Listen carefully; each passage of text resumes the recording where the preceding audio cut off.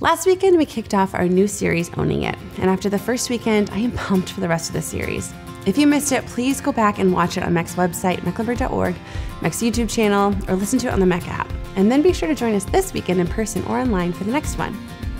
What we addressed this past weekend was owning the discipline of your children. Now, before you tune out because you don't have kids or you're past that stage with grown kids, I can tell you firsthand that I learned so much about parenting before having kids. Did I judge others harshly who had kids when I had none to worry about myself?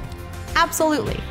But I was also able to glean so much from the people around me who had kids. I got to see what worked, what didn't work, and it was a real gift. And if your kids are grown, I will also be the first to tell you, as a mom of five, that it truly takes a village.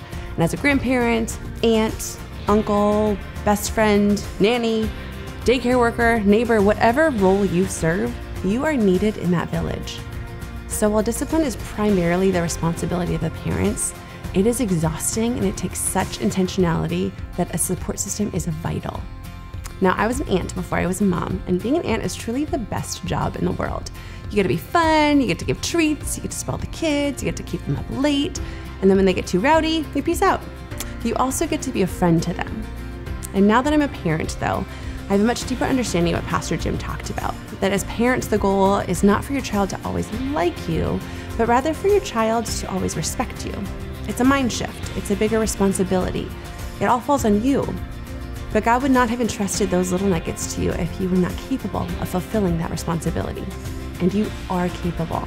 The first thing you have to do, though, is own it. If you don't discipline your child showing that you care what kind of human they become, no one else will at least not the way that they should, to train them in the way that they should go, because no one loves your child like you do.